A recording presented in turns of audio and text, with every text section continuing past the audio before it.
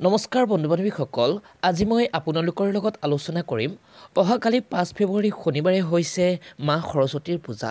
গতিকে এই দিনটিত যদি মা সৰস্বতীৰ ওচৰত নিবেদন কৰে এই কেইটামান বস্তু তেন্তে মা সৰস্বতী হয় অতিকৈ প্ৰসন্ন। গতিকে ইয়াৰ বিষয়ে যদি সবিশেষ জানিব বিচাৰে তেন্তে আহক প্ৰথমে ভিডিঅ'টি আৰম্ভ কৰি লওঁ।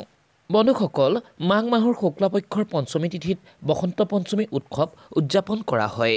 এই বসন্ত পঞ্চমীত বিদ্যাৰ অধিষ্ঠাত্ৰী দেৱী মা সৰস্বতীক পূজা কৰা হয়। শিক্ষাৰ্থীৰ বাহিৰেও আন লোকসকলেও মা সৰস্বতীৰ পূজা পালন কৰে।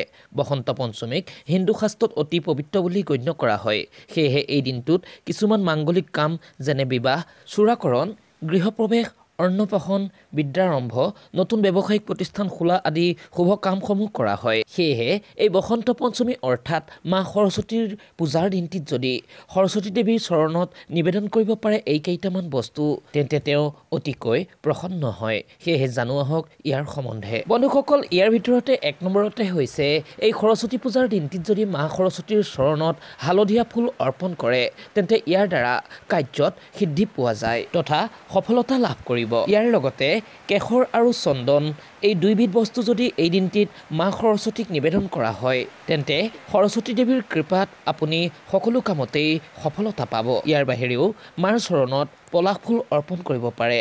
ইয়াক অতিকৈ মংগল মনা হয়। ইয়াৰ লগতে এই দিনটিত ক্ষীৰ বা গাখীৰেৰে তৈয়াৰী কৰা যিকোনো বগা মিঠাই মা সৰস্বতীলৈ আগবঢ়াব। সেয়েহে বন্ধু বান্ধৱীসকল যদিহে ভিডিঅ'টি আপোনালোকৰ ভাল লাগিলে লগতে মা সৰস্বতীৰ কৃপা যদি আপোনালোকৰ ওপৰত সৰ্বদাই থকাটো বিচাৰে তেন্তে তলত কমেণ্টত শুদ্ধ মনে লিখক জয় মা সৰস্বতী ধন্যবাদ।